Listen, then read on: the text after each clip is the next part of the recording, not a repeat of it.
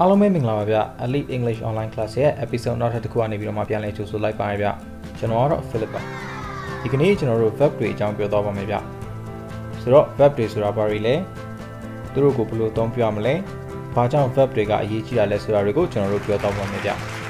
ဆိုတော့ပထမဆုံးမေးခွန်း verb ဆိုတာဘာလဲ verb တွေကဝါကျတိုင်းအတွက်အရေးကြီးတဲ့အစိတ်ပိုင်းတစ်ခုဖြစ်ပါတယ်ဗျဝါကျတိုင်းလို့လို့မှာ verb တွေပါလေးရှိပါတယ်ဝါကျတွေစကားစုတွေတိုင်းအတွက် verb တွေဟာမရှိမဖြစ်လိုအပ်တဲ့အရာတွေဖြစ်ပါတယ်ဗျအတွေးတစ်ခုအပြည့်အဝဖြစ်လာဖို့ရာအတွက် verb တွေကိုထည့်သုံးဖို့လိုကိုလိုအပ်ပါတယ်ဗျ verb တွေဟာဝါကျကြောင်းတွေမှာပါတဲ့ပြုလုပ်သူ subject ရဲ့လှုပ်ရှားမှုဖြစ်တည်မှုခံစားမှုစတာတွေကိုညွှန်ပြပါတယ်ဗျပြီးတော့ verb တွေအားလုံးဒီပါမှာအဆင့်၄ဆင့်ရှိပါတယ်ဗျမြန်မာမှာဆိုလို့ရှိရင်တော့ကျွန်တော်တို့တော်တော်များများက verb 1 verb 2 verb 3 verb ing လို့ခေါ်ကြပါတယ်ဗျဒီ verb အမျိုးအစားလေးမျိုးမှာကျွန်တော်တို့တခြားနာမည်တွေလည်းရှိပါတယ်ဗျဆိုတော့ verb 1ကို base infinitive present form လို့ခေါ်လို့ရပါတယ် verb 2ကို simple past လို့ခေါ်လို့ရပါတယ် verb 3ကိုကြတော့ past participle လို့ခေါ်ပြီးတော့မှ verb ing ကိုကြတော့ ing form လို့ခေါ်ပါတယ်ဗျဒါပေမဲ့ဒီဗီဒီယိုမှာတော့ကျွန်တော်တို့မှတ်ရလွယ်အောင် verb 1 verb 2 verb 3 verb ing လို့ပဲသုံးသွားပါမယ်ဗျဆိုတော့ဒီ verb လေးမျိုးကိုဥပမာပေးရမယ်ဆိုလို့ရှိရင် like liked, liked, liking. Go, went,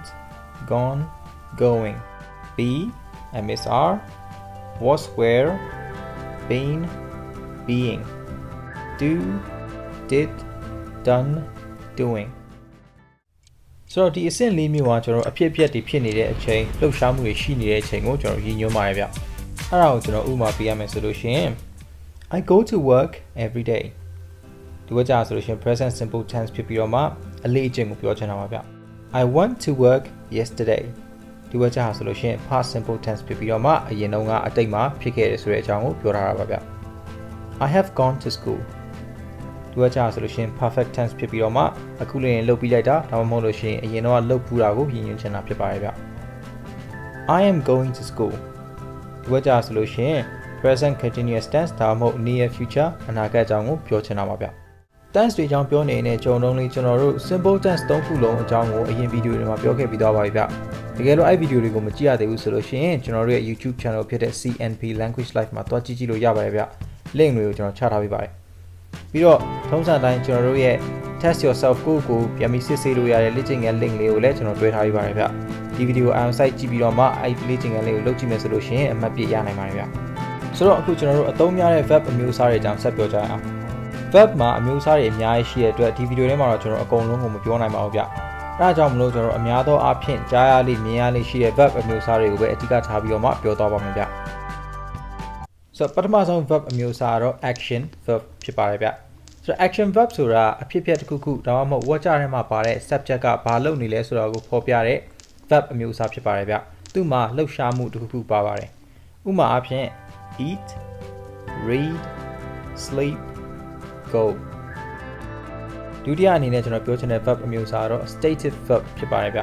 အဲ့ဒါကိုကျွန်တော်တို့ non action verb လို့လည်းခေါ်လို့ရှိပါတယ်သူကကျတော့ဝတ်ကြထဲမှာရှိနေတဲ့ subject ရဲ့ဖြစ်တည်မှုကိုဖော်ပြတဲ့ verb အမျိုးအစားဖြစ်ပါတယ်ဗျအာယုံတို့ခံစားချက်တို့ဆန္ဒတို့ပိုင်ဆိုင်မှုတို့ရှုထောင့်တို့စသဖြင့်ပါဝင်ပါတယ်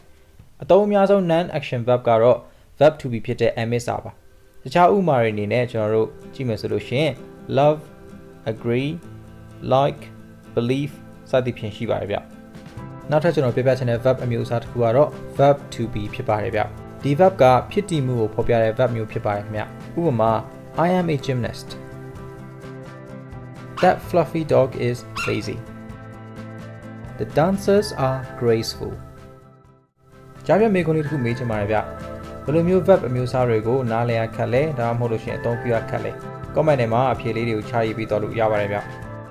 နောက်ထပ်ကျွန်တော်ပြပြချင်တဲ့ verb အမျိုးအစားတစ်ခုက auxiliary verb ဒါမှမဟုတ်လို့ရှင် helping verb လို့ခေါ်ပါတယ်ဗျဆိုတော့ helping verb လို့ခေါ်ရတဲ့အကြောင်းရင်းကဒီ verb တွေကတခြား verb တွေရဲ့ tense တွေကိုအခြေအနေတွေကိုပြောင်းလဲပေးတဲ့နေရာမှာအကူအညီပေးတဲ့အတွက် helping verb လို့ခေါ်ရခြင်းဖြစ်ပါတယ်ဗျကျွန်တော်လူသိအများဆုံး auxiliary verb တွေကတော့ be do have တို့ပဲဖြစ်ပါတယ်ဗျဒါတွေကကျွန်တော်တို့ helping verb တွေရဲ့အခြေခံပုံစံတွေလို့ပြောလို့ရပါတယ်ဗျ ကျွန်တော်အခုပြောလိုက်တဲ့ auxiliary verb တွေအကုန်လုံးက main verb အနေနဲ့လည်းအသုံးပြုလို့ရပါတယ်ဗျဆိုတော့အခုကျွန်တော်ပြောထားတဲ့ helping verb တွေရဲ့ဥပမာလေးတွေကိုတစ်ချက်ကြည့်လိုက်ကြအောင်ပထမဆုံး helping verb ဥပမာအနေနဲ့ be အကြောင်းပြောချင်ပါတယ်ဗျ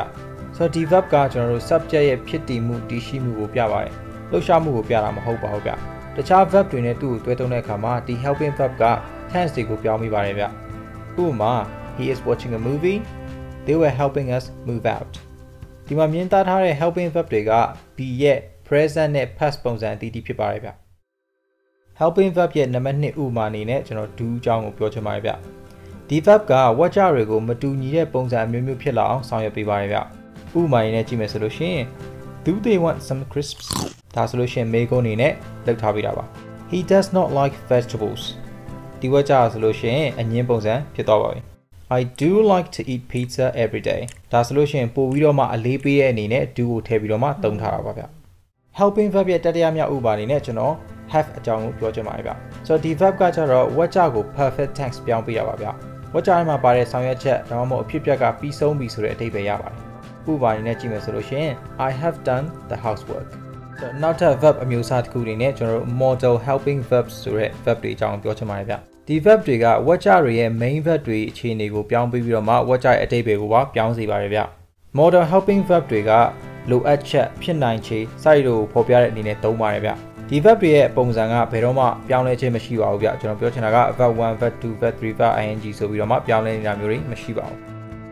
model helping verb တွေရဲ့ဥပမာအနေနဲ့ can could စွမ်းရည်လုံနိုင်စွမ်းကိုပြတဲ့အချိန်မှာသုံးပါတယ်ဗျ may might ဖြစ်နိုင်ခြေရှိမှုကိုပြတဲ့အချိန်မှာသုံးပါတယ်ဗျ will would အလေးအကျင့်တွေပုံမှန်လုပ်လို့ရှိတဲ့အရာတွေအရင်ကလုပ်ထားတဲ့ဟာတွေအကြောင်းကိုပြောတဲ့အချိန်မှာသုံးပါတယ်ဗျ shall should တာဝန်တွေအကြံပြုချက်တွေအကြောင်းကိုပြောတဲ့အခါမှာသုံးပါတယ်ဗျ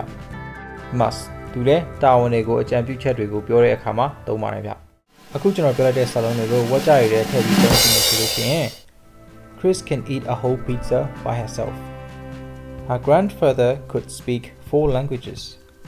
Philip may know where the Bats Barbecue restaurant is in Lasho. They might go to the concert tonight.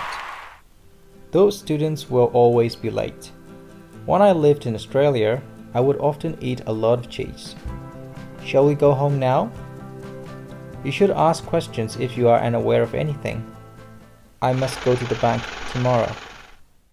နောက်ဆုံးအနေနဲ့ကျွန်တော်ပြောချင်တဲ့ verb အမျိုးအစားကတော့ phrasal verb တွေဖြစ်ပါတယ်ဗျ phrasal verb တွေကလှုပ်ရှားမှုတွေကိုရည်ညွှန်းတဲ့ verb တွေဖြစ်ပါတယ်ခင်ဗျ phrasal verb တွေမှာ main verb တစ်ခုရဲ့ adverb ဒါမှမဟုတ်လို့ရှိရင် preposition တစ်ခုခုဒါမှမဟုတ်လို့ရှိရင်လည်း adverb က preposition ရောနှစ်ခုလုံးတွဲပြီးတော့မှပါလာတတ်ပါတယ်ဗျဆိုတော့ဥပမာတွေကိုကျွန်တော်တို့တစ်ချက်လောက်ကြည့်လိုက်ကြအောင် Get up. Chris wakes up at 5 a.m. every morning but gets up at 6 a.m. Pick up, drop off.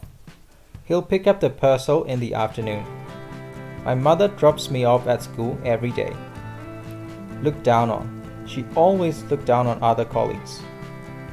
Ran out. I quickly ran out of patience with rude people. Take off. Sorry, this party is boring. I'm going to take off now. Put on. Get up, Max. You need to put on some clothes and get ready for school. တခြား verb အမျိုးအစားတွေအများကြီးရှိသေးပေမဲ့ကျွန်တော်တို့ဒီဗီဒီယိုမှာတော့ဒီလောက်ပဲပြောတော့ပါမယ်ဗျ pause, breathe. Love, ဆိုတော့ပြန်ချော့ရမယ်ဆိုလို့ရှိရင်ကျွန်တော်တို့ဒီနေ့ဗီဒီယိုမှာတည်တင်တည်ထိုက်တဲ့ verb တွေအကြောင်းကိုပြောခဲ့ပါတယ်ဗျကျွန်တော်တို့ပြောခဲ့တဲ့ verb တွေက action verbs stative verbs verb to be auxiliary verbs ဒါမှမဟုတ်လို့ရှိရင် helping verbs modal helping verbs ပြီးတော့ phrasal verbs တွေဖြစ်ပါတယ်ဗျကျွန်တော်အခုပြောသွားခဲ့တဲ့ verb တွေနဲ့ပတ်သက်ပြီးတော့မှမေးခွန်းတွေရှိရင် comment တွေမှာမေးသွားလို့ရပါတယ်ဗျ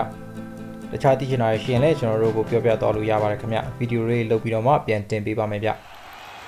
အားလုံးပဲဒီနေ့တော့ကတော့ဒီလောက်ပါပဲဗျဒီဗီဒီယိုလေးကိုကြည့်နေတက်လိမ့်မယ်လို့မျှော်လင့်ပါတယ်ခင်ဗျအခုလိုကြည့်ရှုပေးတဲ့အတွက်လည်းကျေးဇူးအများကြီးတင်ပါတယ်ဗျကျွန်တော်တို့ရဲ့သင်ခန်းစာတွေကိုမလွတ်ချင်ဘူးဆိုလို့ရှိရင်ကျွန်တော်တို့ရဲ့ YouTube channel ဖြစ်တဲ့ CNV Language Live ကို subscribe လုပ်ထားပေးပါခင်ဗျ